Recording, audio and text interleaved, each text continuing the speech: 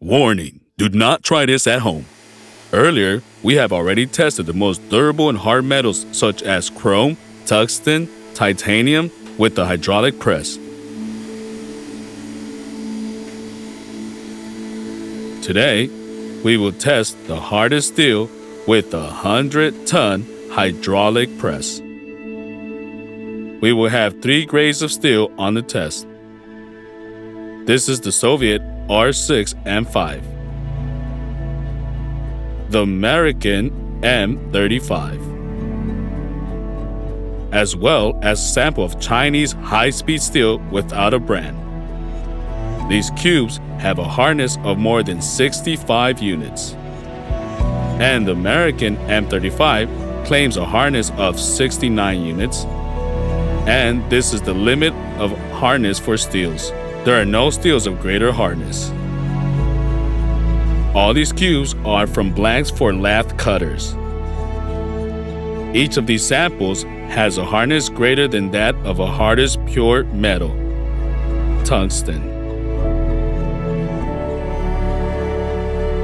If you do a scratch test, then tungsten does not leave scratches on any of these cubes. What cannot be said about the opposite?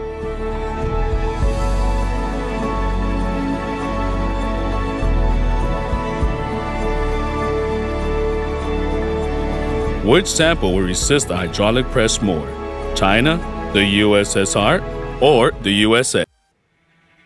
The first in line will be a sample of Soviet high-speed steel, R6M5. It is this cube that is cut out of a lathe cutter.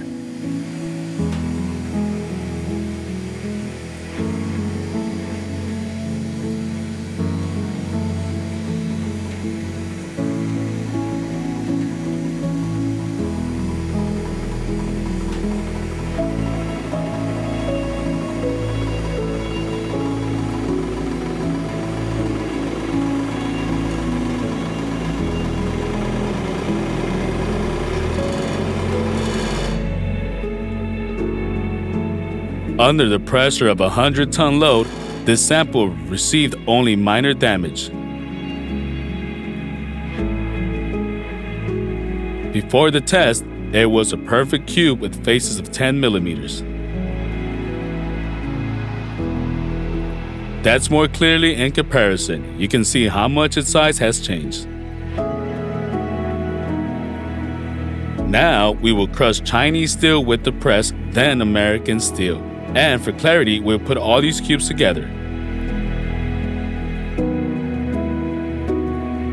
And so, the Chinese quick cutter.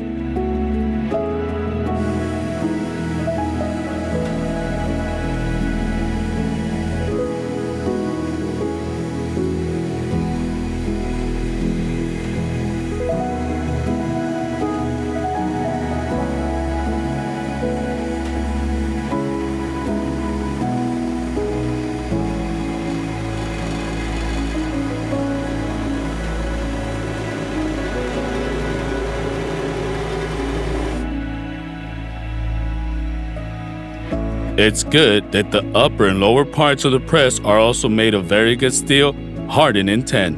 And if it had been another steel, they would have been sold. American M35.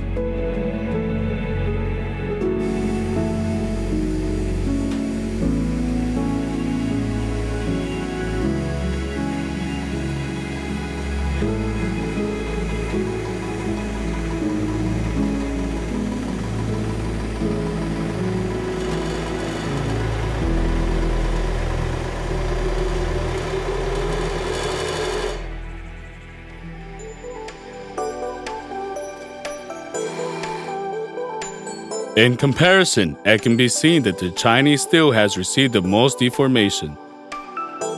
The American and the Soviet warped the same way.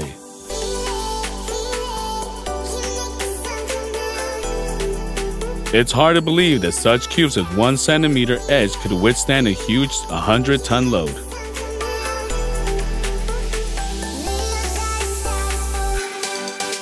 This is how. For example, the tungsten's cube looks like after exposure of 110 load.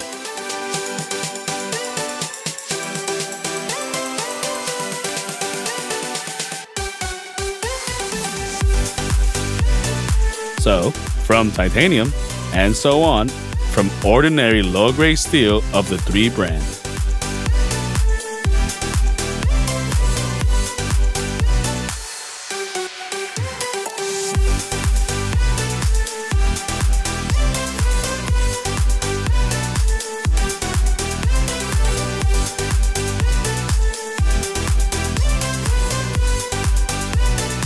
These are the dents left on the hardened steel surface.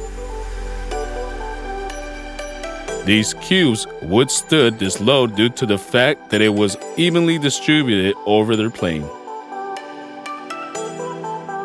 And now, we'll break this even distribution. Put a mega hard ceramic ball on top. It is several times harder than a sample of this very hard steel.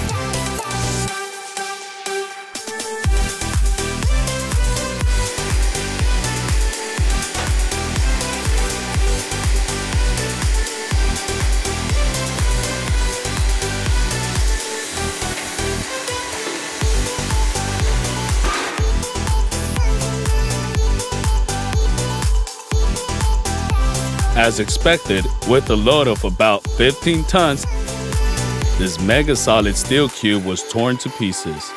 The Chinese cube withstood an even smaller load, 10 tons.